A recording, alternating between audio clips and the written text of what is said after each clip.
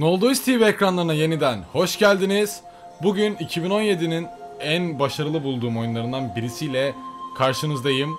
Nioh'un PC versiyonunu sizlere bir ilk bakış olarak tanıtmayı istiyorum. Ancak oyunu tanıtmaya henüz başlamadan önce e, birkaç şeyden bahsetmek istiyorum. Beni rahatsız eden ve konuşmak istediğim birkaç şey. Dark Souls, Bloodborne, Demon Souls ve Nioh gibi yapımlar ne yazık ki birçok popüler mecrada ya da YouTube kanalında dünyanın en zor oyunu olarak tanıtılıyor. Yani çok zor oyun, işte oynaması imkansız oyun, bitirilmesi imkansız oyun. Bu oluşturulan kavramı bozmak için aslında bir de bunun ilk bakışını yapmak istiyorum. Çünkü New York gerçekten e, benim başarılı bulduğum ve Dark Souls'a kıyaslamaktan ziyade Onimusha'nın bir ruhani devamı olarak gördüğüm bir yapım. Aslında New York ilk tanıtıldığında ve ilk PlayStation 4'te oyunun demosunu oynadığımda da şunu demiştim ben. Abi bu oyun Onimusha ile Dark Souls'un çocuğu. Yani Onimusha ile Dark Souls birleşse kesinlikle Nioh ortaya çıkar demiştim. Ve oynadığımda da her zaman aynı his aldım. Dark Souls'dan ziyade bana Nioh'un verdiği his daha çok Onimusha'ya yakındı. Bu oyunun dünyanın böyle en zor oyunu, çok zor oyun, acı çekiyorum denecek kadar olduğunu düşünmüyorum. Ben Dark Souls'u da çok zor aman aman falan diye olduğunu düşünmüyorum. Hatta her oyuncunun kendisine kendisini oyuncu olarak gören her kişinin Dark Souls'u deneyimlemesi gerektiğini düşünüyorum. Bitirmeye çalışıp da bitiremese dahi e, kendisine oy, yani kendisini oyuncu olarak gören herkesin Dark Souls'u deneyimlemesi gerektiğini düşünüyorum. Herhangi bir yapımını Bloodborne dahi olabilir ve o ekibe Nioh'u da katıyorum ben aynı zamanda. Nioh'u oynamamanız için sizi yani sizi oynamaktan alıkoyabilecek tek şey belki oyunun Japon teması. Yani Japon teması samuray ne, ne diyelim Edo zamanı Japonyasını pek sevmiyorsanız işte e, Tokugawa dönemini pek sevmiyorsanız bir tek bu sizi Nioh'tan itebilir. Ancak onun dışında ben birçok popüler mecranın yaptığı bu çok zor oyun, bitirmesi imkansız oyun, çok aman işkence muhabbetlerinden hiç e, hoşlanmıyorum. Aksine bu yüzden dediğim gibi size Nioh'u tanıtmak istiyorum. Nioh aslında oldukça özgün bir yapım. Özgün olması sebebi şu. Oyun Dark Souls'dan ziyade Bloodborne'u bana daha çok andırmıştı. Ancak kendi has mekanikleri, oynanış olsun, ne, ne diyelim bölüm tasarımları olsun birçok kendine has mekaniği var. Yani tamamen Dark Souls özentisi, Dark Souls esintisi demek bence çok yanlış. Nioh bana kalırsa Onimusha'nın bir ruhani devamıdır. Onimusha ile Dark Souls'un çocuğudur bahset. Nioh'un ilgi çekici bir kısmı da aslında tarihten esinlenerek geliştirilmiş olması. Tarihten esinlenmiş derken neyi kastediyorum? Ee, oyunlara zaten göreceksiniz. Ana karakterimiz William aslında dünyanın ilk yabancı samurayı. Yani Japon Japonların dışında Japonya'ya dışarıdan gelen bir mülteci olarak düşünürsek, bir kaşif olarak düşünürsek veya bir e, denici diyelim. İlk samuray aslında yani oyun bunu çok e, dramatik, daha oyuna uygun bir şekilde işliyor. William böyle Geralt'a çok Geralt'ı çok andırıyor mesela falan ama Amrita. Amrita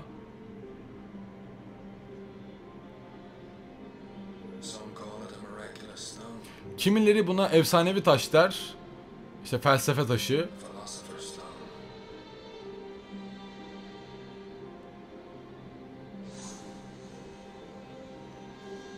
Kraliçe Elizabeth'ten. İngiltere'nin kraliçesi savaşa sıkışmış bir şekilde kalmış.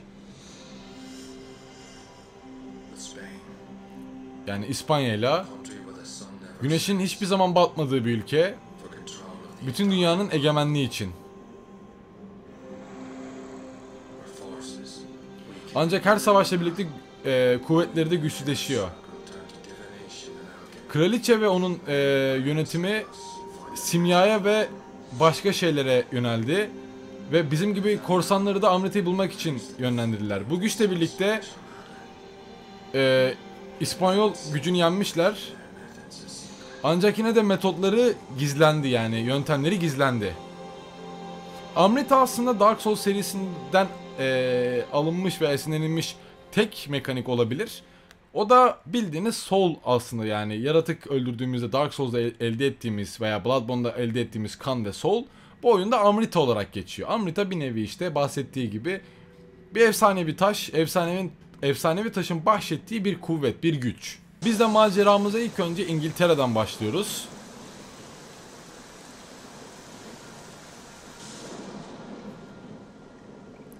bir şekilde artık maceranın gidişiyle birlikte, işlenişiyle birlikte kendimizi Japonya'da bulacağız. Ve işin en tatlı kısmı da tarihten eee, alınan karakterlerin, bireylerin oyunda yer alması, yer alması ve oldukça da gerçekçi bir şekilde ele alınması. Benim fikrim bu yönde açıkçası. Bizim karakterimiz dışında tabii.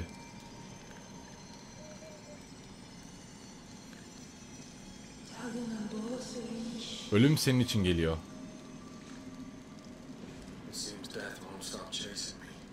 Demek ölüm beni benim peşimi bırakmayacak. Evet bu şekilde Londra kalesinde İngiltere'de 1598 oyuna başlıyoruz. Bu taraftan. Ve evet İngiltere'nin kalesinde karakterimiz William Adams'la baş başayız. Oyunun benim için, benim için diyorum bireysel olarak, benim için tek eksisi eee, genel olarak bir eksi olarak da bahsedersem benim için tek eksisi ben PlayStation 4'ten oynuyorum ancak bana Xbox veya işte eee, alışılmış PC kontrol tuşlarını gösteriyor. O yüzden ben biraz kafam benim biraz kafam yanıyor. Baş, diğer oyuncular için eksisi ise bu oyun mouse ve klavye ile oynanmıyor. Ben böyle okudum. Bakayım mouse'la da evet. Anam dur lan. Eyvah. Bak bak bak. İbiş. Gel döverim seni. Normalde bunu dövmüyorduk böyle ya. Ben şu an fantezi yapıyorum bu adamla. Aynen gel gel gel. Yine kontroller yine eee Dark Souls mekaniğini andıran bir dövüş tarzında. Tabi daha henüz kılıcımı, sopamı, ne bileyim mızrağımı almadığım için zorlanıyorum ancak oyunun yani bilmiyorum Dark Souls hiç mesela Dark Souls'un da eyvah öleceğim ha. Yani Dark Souls'u da ne bileyim eee, ya da bu tür oyunların zor anıl- anılmasının sebebi oyunculara pek hata yapma şansını tanımaması. Yani bu ne demek? Bu tür oyunları oynarken her bir hata ölümle sonuçlanabiliyor. Kolayca ölümle sonuçlanabiliyor. Ee, yani Shadow of Mordor, Shadow of War oynarken nasıl üçgene basıp bir tuşla ee, saldırılardan kurtulabiliyorsak burada öyle bir şans yok.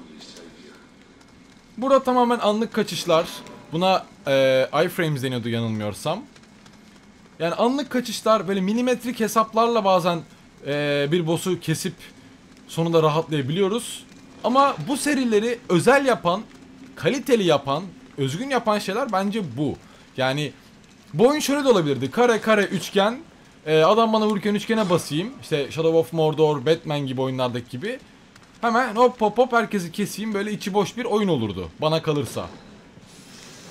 Ki e, bu tarz oyunlar artık kendini o kadar çok e, oynatıp alıştırıyorlar ki bir yerden sonra bu tür mekaniğe alışıp başka oyun eee, böyle oynayamıyor oluyorsunuz. Açıkçası ben Dark Souls'u ilk bitirdiğim zaman Dark Souls'un dışında pek başka oyun oynayamıyordum. Yani böyle canım Dark Souls oynamak istiyordu sürekli. Dark Souls mekanikli bir oyun oynamak istiyordu. Mesela Lords of Fallen oynadım. Hiç beğenmedim. Mesela o direkt bir Dark Souls özentisi bir oyundu. Ancak Nioh e, Dark Souls'dan ziyade hep üzerine üzerine basarak söylüyorum bunu. Çünkü e, bazı tabuları, bazı fikirleri kırmak istiyorum. Bu fikirler de işte yok efendim Dark Souls şey Nioh çok zor. Dark Souls çok zor vesaire. Ben bilmiyorum yani bu fikirlere pek katılmadığımı söylemek istiyorum. Yani zor var, zor var. Ee, kontra oynamış arkadaşlar zorun ne olduğunu biliyordur. Bu oyunların bir öğrenme e, eğrisi var. Bir learning curve diyebileceğimiz bir alışma süreci, bir learning curve'ü var. Bu oyunlara alışmadan e, ölmeniz, başarısız olmanız çok olası. Bu doğal zaten. Ben Dark Souls'a başladığım gibi e, akıp gitmedim. Ben Dark Souls 1'i level grindlayarak 80 saatte bitirdim. Level grindladım. Zorlandım çünkü boss'u kesemedim. Level kastım. Ama oyunu bitirdim ve alıştım şeye. Orada bir tane okçu var.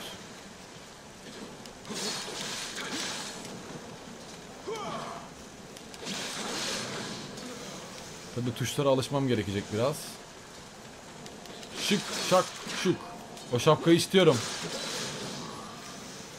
İyi bir menesin daha aldık.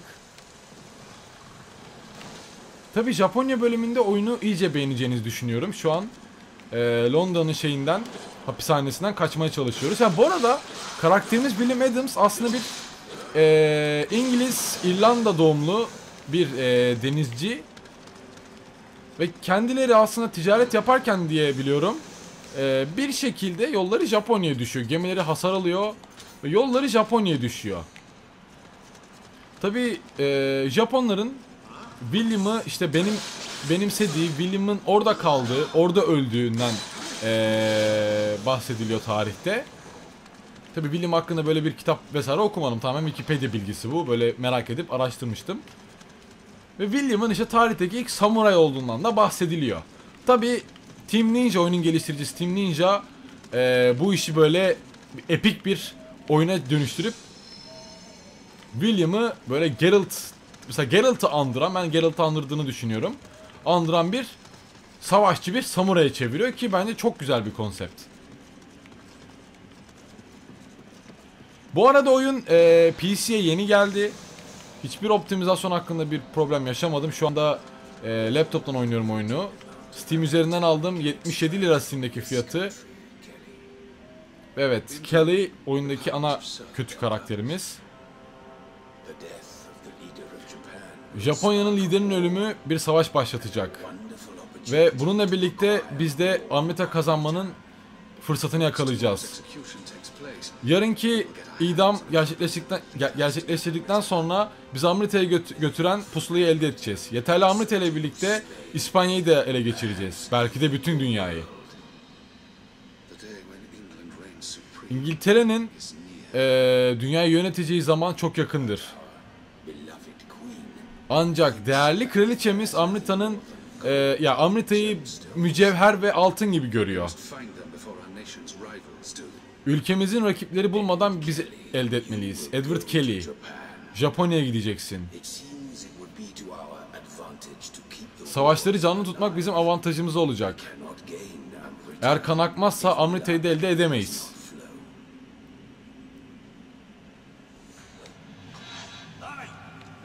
Hey sen kimsin?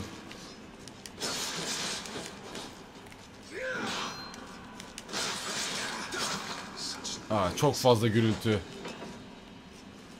Edward Kelly oyunumuzun eee, kötü karakteri, ana kötüsü.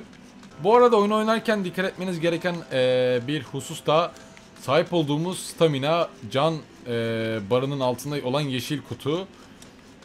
Dark Souls oynadıysanız bilirsiniz bu özelliğin e, önemini. Ancak şöyle her bir saldırıda, harekette, yaptığımız vuruşta bu bar gittikçe azalıyor ve bar bittiği zaman Edward, e, Edward diyorum William böyle bir dinlenme pozisyonunda kalıyor ve tamamen saldırılara açık bir pozisyonda kalıyor.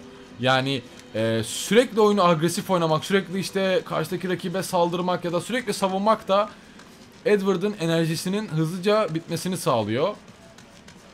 Bu stamina'yı ayarlamak aslında Nioh, Dark Souls gibi yapımları eee, çözmenizde ve alışmanızda böyle en büyük size yardımcı olacak böyle adımdır diye düşünüyorum. Bu benim size tavsiyem. Zaten oyunu oynadıkça eee, bazı başka mekaniklerden de bahsedeceğim. Arkamda biri daha var sanki ama. E tabi tabi bunlar da var. E, genelde bir de bu oyunlarda birden fazla düşmanla debelenmeyin. Genelde kendinize bir düşman belirleyin bir haritada bir e, yolunuzdaki. İlk önce onu halledin, teker teker halledin, sabırlı olun. Sabır gerçekten bu oyunda e, ödüllendirici bir şey. Bir sürü de şey düştü, botlar düştü. Mesela şu an e, elde ettiğim zırhları giyiyorum mesela şapka vesaire ve sağ üstte Equipment Weight yazıyor. Ve şu an bu mavi. Equipment Weight giydiğim zırhın ağırlığını temsil ediyor. Ve mavi, yeşil, sarı ve kırmızı olarak 4 seviyeye ayrılıyor. Bunlar ne anlama geliyor? Ee, kırmızı tabii ki en ağır ama en dayanıklı böyle en güçlü zırhı giyiyorum demek. Genelde bu böyle oluyor. Ee, yani o renkler mavi, yeşil, sarı, kırmızı benim ağırlığımı temsil ediyor. Ve ne kadar ağırsam o kadar e, daha hantal oluyor William'da. Yani kırmızı bir zırhınızın ağırlığı kırmızıysa öyle yarım saat depar atıp hoplayıp zıplamayı pek beklemeyin. Aksine karakteriniz eee, kaçamıyor, takla atamıyor. Böyle bildiğiniz tank diyebileceğimiz bir karaktere dönüşüyor. Tamam belki eee, normal hasarlara daha az hasar alıyor ama hareket kabiliyetinden feragat ediyorsunuz. Benimse tavsiyem olabildiğince ağırlık seviyesini yeşile tutun. Yeşil gerçekten eee, oynaması en optimal, en uygun seviye. Yeşille çünkü hem eee, seviyeniz şey, eee, zırh seviyeniz orta, hızınız iyi.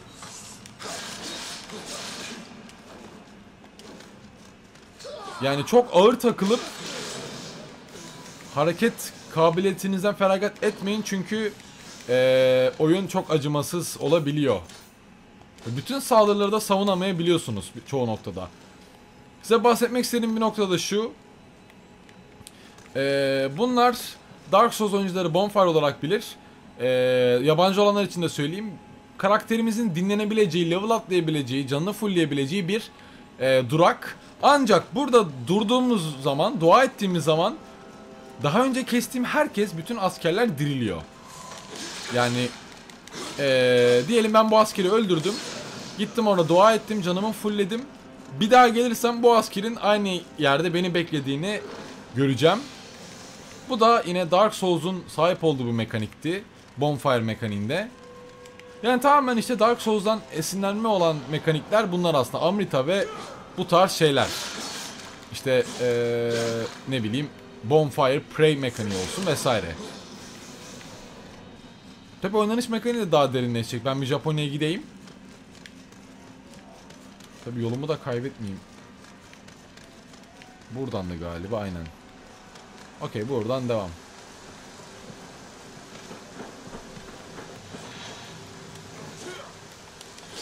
Mesela ben bu oyunu PlayStation'da bitirdim ama yani gerçekten Onimusha sevdiğimden ve Nioh'u da beğendiğimden tekrardan PC'ye aldım. Tamamdır. Buradan nereye gidiyorduk? Yolu da hiç hatırlamıyorum ki. Ha, orada bir şey var. Bir item var. Aman taş. Buradan mıydı? Ha burada bir Prey tapınağı var. Şuradan dua, duamızı edelim. Buradan aşağıda ne vardı? Itemlar falan var.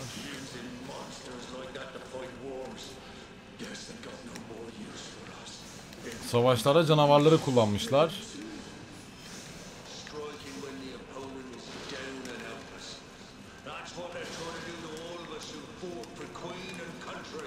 Burada ölmüş insanların eee, son sözlerini duyuyoruz aslında o amritaları al- alarak.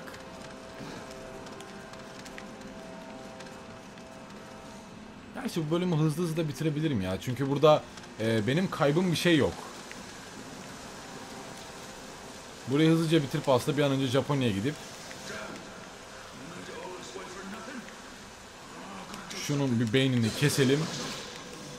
Hadi bay bay. Bir ceket düşmüş. Bunu giyelim. Pantolon da düşmüş. Bunu da giyelim. Tamam. Buradan böyle yukarı çıkalım.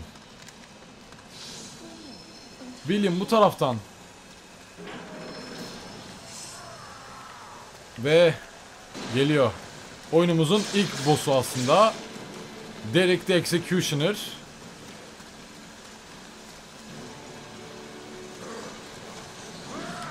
Hop hop hop.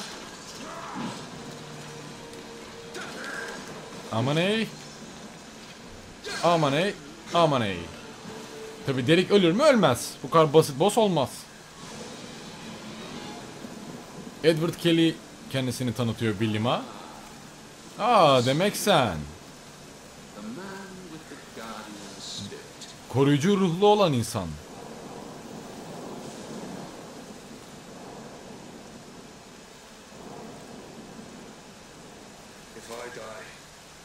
Eğer ölürsem taşların sırrı benimle kalır. Bu taşların ne- neler yapabileceğini sana göst- göstermeme izin ver. Dikkatle bak.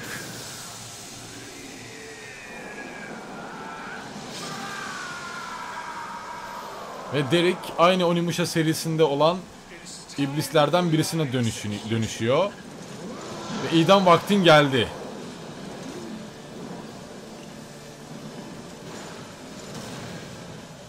Evet oyunumuzun as- asıl ilk boss'u karşımızda. Derek bir Yokai'ye dönüştü. Yokai olarak bilinen eee, ruhani kötü ruhlara ya kötü ruhlara dönüştü diyelim. Hoppa. Gel gel. Dın dın dın dın dın dın hoppa. Dın dın dın dın dın dın dın. Ve şimdi Derek yaralandı. Yaşayan silah kullanıyoruz. Guardian Spirit'imizi çıkartıp.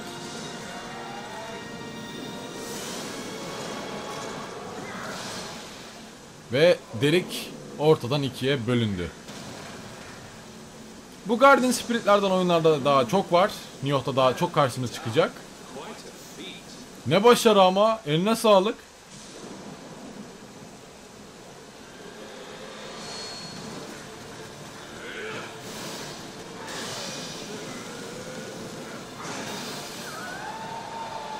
Ve Edward bizim koruyucu ruhumuzu elde ediyor, çalıyor.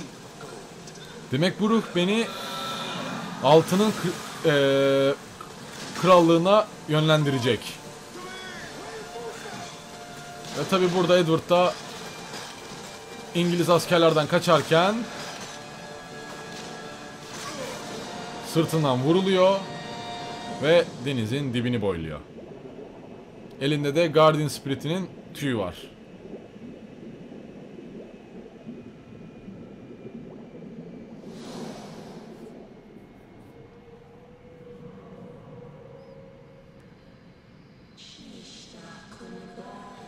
Ölüm yaşama olan bir giriştir.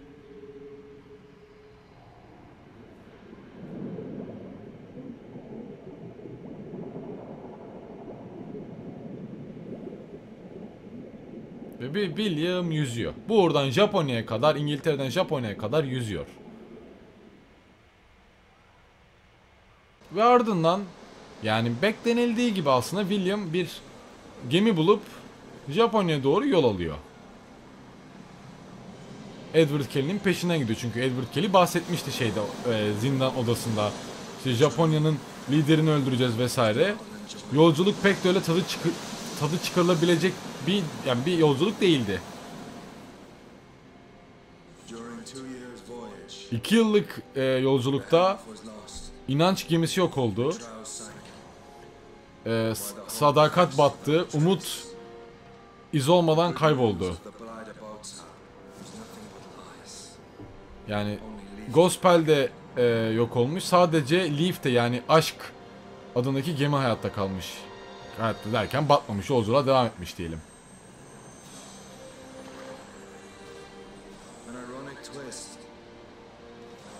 Ancak ironik olan şey de uzak doğudaki bizi bekleyen şey aşk değildi. Canavarlar ve ölüm vardı. Ve New York karşınızda. Karaya ayak basmadan önce hazırlıklar yaptım. Ve eee, hani bir kitap okudum diyor. ilgimi çeken. Eee, Zipangu ad- yani Zipangu diyarına daha önce bir e, adımını atmış bir denizci hakkındaydı bu. Yani Zipangu'da birçok silah, birçok zırh çeşidinin olduğunu öğrenmiş William da. Şimdi oyun bana başlamak istediğim silahlar silahları sunuyor. Hani bunlarla oyuna başlayabilirsin diyor, oynayabilirsin diyor. Sword bildiğiniz katana, e, tek elle kullanılan normal bir sword yani kılıç uzunluğunda.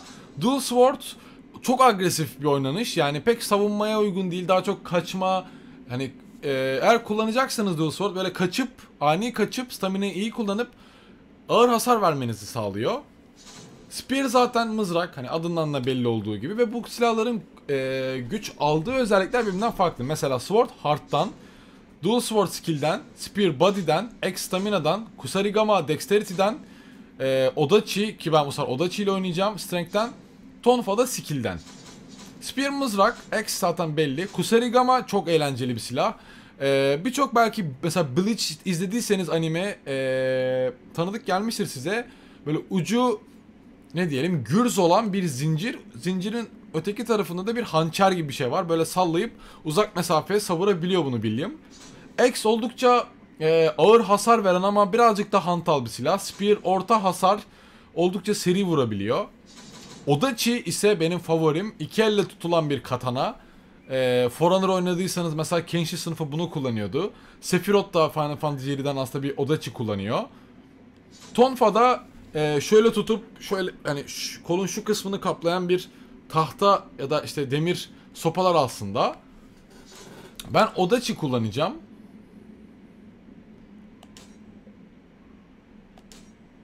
Ve ikinci bir silah olarak da Tonfa'yı seçeceğim. Çünkü e, başta bahsetmeyi unuttum bu benim eşekliğim.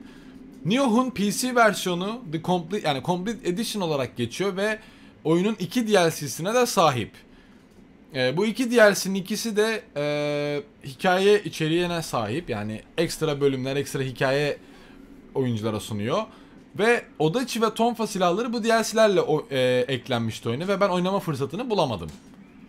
O yüzden iki tane bilmediğim silah alacağım. Bu oyuna başlarken e, benim yanımda olan Guardian Spirit. Kato e, bir kurt ateş element, en- e, elementini betimliyor. Isone de bir köpek balığı su elementi. Ve Daibawashi bu da bir e, kartal hatta şahin diyelim. Ve hava elementini e, temsil ediyor. Ancak ben Kato'yu alacağım. Evet Odachi, Tonfa ve Kato. Yolculuğa bu şekilde başlıyorum. Hayır tutorial istemiyorum. Ve evet William nihayet Japonya'ya ayak bastı. Tabi burada size anlatmak istediğim, göstermek istediğim birçok şey var. Hem oynanış hem hikaye hakkında vesaire. Mesela bu köylü, Japon köylüsü ölmüş ve Amritası ortaya çıkmış. Bir nevi ruhu da diyebiliriz belki. Ve 1600 Usuki'deyiz. Evet. Bi- Bizen'den Odachi'yi aldık. Tabii köylüden de Odachi çıkması. Abi çok güzel Odachi ya. Bayılıyorum bu, bu katanaya. Mesela Small Spirit Stone ee, bunlar Amrita taşları. Bunları kırıp deneyim puanı elde edebiliyorum. Mesela bana 100 deneyim puanı verdi. Bu arada oyun oynarken haritayı mutlaka ama mutlaka keşfedin. Altın üstüne getirin. Çünkü bir silah ee, bir ne diyelim bir amrita bulabiliyorsunuz. Ve artık bir şrine'a geldik. Bir tapınağa pray diyebiliyoruz. Ve bu tapınaklar mesela bu tapınakta ilginç böyle ufak bir e, Kodama'ydı galiba ismi bir canlı var. Bunlar e, her farklı bölümde beşer tane bulunuyordu galiba. Aynı zamanda diyarlara da ayrılıyor Japonya'nın bölgelerine de göre de ayrılıyorlar. E, bunlar William'a buff veriyorlar. Şöyle buff ama item drop chance, ne diyelim medicine drop chance, amrita kazanma e, oranını arttıran bufflar veriyorlar. Bu yüzden Nioh oynarsanız her bölümdeki bütün bu kodomaları toplamaya mutlaka çalışın. Yani karşılığını gerçekten alacaksınız. Şimdi benim Oda Çime ne güç veriyordu? Strength değil mi? Ben STR karakteri olacağım o zaman. Aynı zamanda equipment weight'ini de arttırabiliyorum. Yani ağırlık taşıma kapasitem, kapasitemi de arttırabili arttırabiliyorum. Bu gayet güzel oldu. Body benim maksimum sağlığımı arttırıyor. Heart ki yani enerjimi, stamina dediğim enerjimi arttırıyor. Ee, Samurai skill point, point de veriyor. Samurai skill point de e, silahımı kullanırken yani silah yani kullandığım silahla yapabildiğim hareketleri açmamı sağlayan puanlar. Stamina e, o da ağırlığı arttırıyor aslında ki ağırlığı daha iyi arttırıyor bu. Direkt artı 1 veriyor. Strength 0-1 veriyor aynen. Stamina ile strength biraz ters oldu. Skill yeteneği adı- adından belli. Mesela benim tonfa kullanmamı şeyimi arttırıyor ama aynı zamanda e, Samurai Skill Point de veriyor ve Ninjutsu Power veriyor. Bu Ninjutsu Power'da bahsettiğim ninja yetenekleri. İşte ne bileyim shuriken atma yani ninja yıldızı atma, tuzak kurma vesaire gibi. Dexterity bu daha çok ninjutsu'yu kuvvetlendiriyor e, ağırlık olarak. Magic Bu e, Onyo olarak işte bu ateş kullanma ne bileyim güçlendirme böyle sam yani Japon tarzı büyü diyelim biz bunlara. Onları güçlendiriyor. Spirit ise direkt Guardian Spirit'leri destekliyor ama aynı zamanda işte William'a artı 10 life artı 10 key de veriyor. Guardian e, ileride şöyle diyeyim size birçok e, Guardian Spirit'le karşılaşacağız. Yani spoiler olmaz ama atıyorum örümcek ruhu, işte e, Çin aslanı ruhu vesaire, kaplan ruhu. Bunları kullanabilmeniz için Guardian yani Spirit özelliğini de arttırmanız gerekiyor. Size böyle bir tavsiye de vereyim. E, şimdi maksimum sağlığımı arttırsak biraz strength arttırayım, biraz vuruşum güçlensin. Gerçi artı bir güçleniyor. Bir dakika ya. Ee, Odachi neyden gücünü alıyor? Ha mesela şöyle diyeyim size bir de özel bir rehber olarak. Mesela benim kullandığım Bizen'den Odachi e, C, C, B artı diyor. Mesela Heart'tan C, Stamina'dan C, Strength'ten B artı alıyor. Yani en çok Strength'ten mesela Strength'ten e, besleniyormuş bu kılıç. Ancak ilk oyuna başlarken birazcık stamina'yı arttırmakta fayda var. Key'i arttırmakta yani. Çünkü çok hoplayıp zıplayacağız. Çok eee, düşmanları dojlayacağız. Ve Odachi'yi daha önce hiç kullanmadım ve oyunun nasıl tatlı kısmından bahsetmek istiyorum. Oyunun 3 farklı stansı var. Heavy atak oldukça yavaş ancak hasarda çok iyi bir çok iyi hasar verebiliyor. Eee, en hızlısı ve en zayıfı diyebileceğimiz. Jedi Knight Jedi Academy oynadıysanız bu mekanik size çok tanıdık gelecektir. Bir de orta var. Orta hız, orta hasar. En dengelisi de bu. Tabi savaşın ortasında bu stansleri değiştirebiliyorsunuz. Tamamen size kalmış. Tabi bir İngiliz, İrlandalı adamın odaçı kullanması. Abi.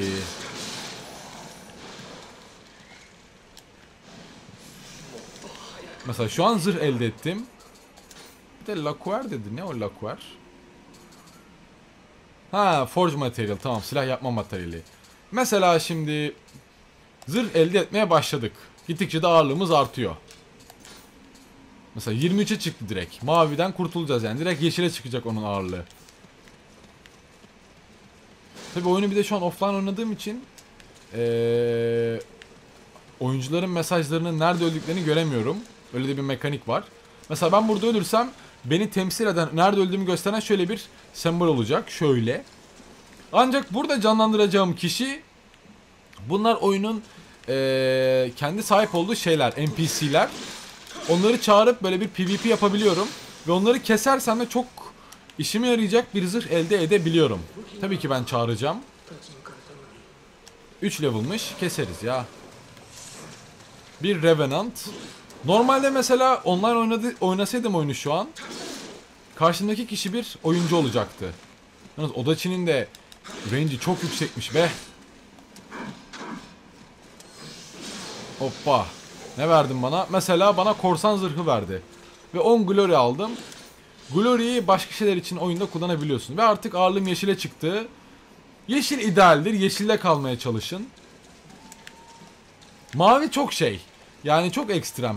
Ee, çok kırılgan olursunuz. Çok hızlı ama çok kırılgan olursunuz. Bence en en optimali yeşil. Yeşile tutmaya çalışın. Sarıya çıkmayın olabildiğince. Çünkü sarıya çıktığınızda ee, çok hızlı koşamayıp çok da uzağa ee, dodge'layamıyorsunuz, sıyrılamıyorsunuz. Sıyrılma mesafeniz azalıyor gittikçe. Ya ama mutlaka mutlaka kırmızıya çıkmayın. Kırmızıda asla dodge'layamıyorsunuz ve çok hasar almaya başlıyorsunuz. Ve saldırıları blokladıkça da staminanız azalıyor. Yani sınırsız bir bloklama şansınız yok oyunda ne yazık ki. O yüzden patır patır sizi keserler. Patır patır ölürsünüz ve zorlanırsınız. Bahsettiğim kodamayı da buldum. Gel canım benim. Ben bunlara bayılıyorum ya. İbişler. Gel. Şimdi hazır birazcık da deneyim puanı almışken şuraya gideyim ve level atlayayım. Ki bak Kodama kardeş de oraya geldi. Merhaba. Şimdi Kodama'nın kutsamalarını alacağım. Mesela Oracle, Swordsman, Warrior, Healer ve Hunter Blessing'leri var. Mesela Oracle e, Amrita kazanma oranını arttırıyor. Bu level at- atlamak için işimize yarayacak. Swordsman silah düşme ihtimalini arttırıyor. mesela bu kodama e, zırh düşme ihtimalini arttırıyor. %1 arttı. Elixir e, şey benim iyileşmemi sağlayan ilaç. Bu da materyal şey daha çok bu silah craftlama, silah yaratma şeyleri. DLC itemlarını alayım? Var mı ki? Dharma Chakra Kabuto ve Smithing Text aldım. Peki. Bir de level atlayayım tekrar. Ee, strength'ı artırsam birazcık daha heart'ı arttırayım ben. Birazcık daha stamina lazım ya. Şimdi bana Kabuto geldi. Dharma Chakra Kabuto. Ha şey Valve'in e, zırhı. Tabi bu beni çok OP yaptı bir an. Valve'in şeyi Steam'in buharları çıkıyor kafamdan. Ama gördüğünüz gibi zırhım direkt 51'e çıktı ve e, 55 veya 60 üstü sarı. Ona dikkat etmem gerekiyor. Seni ben unuttum bir an. Bir de size mesela daha ağır vurmayı göstereyim. Mesela çok ağır ama çok da hantal. Şimdi bir de gelelim yetenek öğrenmeye. Şimdi kılıç kullanmıyoruz. Direkt gel Odachi'ye. Şimdi bir samuray puanı vererek ee, şeyi az olan mesela staminası biten düşmanlara bu saldırı yapabiliyorum. Tabii ki aldım. Mid ve low stance içinmiş bu yetenek. Neymiş? Ha silahın kabzasıyla vurma. Kombonun sonunda oluyormuş hatta. Ee, bu ne? Ha tek bir tane güçlü vuruş. Mesela bununla yere vurabiliyormuşum savunurken. Oo bu güzel. Baskı altına kalınca bunu kullanabiliriz. Daha çok ben mid stance gideceğim için bu low stance. Ha, onu almak için görevi tamamlamak gerekiyor. Tonfa daha henüz geçmediğim için Ninja Run'da bir şey alabilir miyim? Kaç tane ninja şeyim yok, puanım yok. Tamam bunu da alalım. Stance değiştirince biraz enerjim toplanıyor. Güzel. Koş William Paşa koş. İyice her ara- araştırmakta fayda var. Mesela Jingasa diye bir zırh düştü. Ee, benim zırhımdan daha kötü. Çünkü bende buharlı zırh var ya. Güzel düşünmüş ama Team Ninja. Hoşuma gitti yani. Gel gel. Gerçi bunlar şey ya haydut bunlar köylü değil. Köylü dediysem. Evet mesela şu an Kato'yu da aktifleştirebiliyorum. Ateşli kurdu. Ama gerek yok. Onu zor yerlerde aktifleştirmek daha mantıklı. Abi Odachi çok güzel ya. Aa Tonfa'yı da bulduk güzel. Bir de Tonfa'yı göstereyim. Tonfa çok daha hızlı. Mesela Tonfa'nın low stance'i iyice hızlıdır. Mesela. Bir de heavy stance'e geçelim. Ama Odachi devam. Tonfa'yı gerektiği yerlerde kullanacağım. Daha böyle etrafım sarıldığında, hızlı vurmam gerektiğinde. Lan! Kafanı yararım ha. Abi çok kalabalık yerler ama. Abi sen nereden geldin? Abi bütün... Üf. Abi bütün haydutlar bana saldırıyor ya şu an. Arada kaynayanlar var ölür. Öldü herif. Ah abi o baltalı... O baltalı kötü vuruyor. O baltalı kötü vuruyor. Neyse ilk defa öldük oyunda. Nioh bu şekilde. Umarım eee, size anlatımımla, gösterdiklerimle biraz ilginizi çekmişimdir. Bence Nioh'u mutlaka oynayın. İsterseniz PlayStation 4'ten, isterseniz PC'den mutlaka bir şans verin. Oyun zormuş, işkenceymiş, bu tür şeylere kulak asmayın. Umarım yani sizin e, ilginizi çekebilmişimdir Nioh'la birlikte. Çünkü gerçekten 2017'nin en başarılı oyunlarından birisi, en başarılı, en özgün, en oyuncuyu böyle e, tatmin edebilen yapımlardan birisi. Ben oldukça beğendim ve bence bu yıl çıkan en iyi 10 oyundan birisi. Bu kadar da iddialıyım. Zaten e, Aralık'ın ilk haftası ve ikinci haftası da o video ile karşınıza çıkacağım. Bir sonraki videoda görüşmek üzere. Kendinize iyi bakın ve hoşçakalın.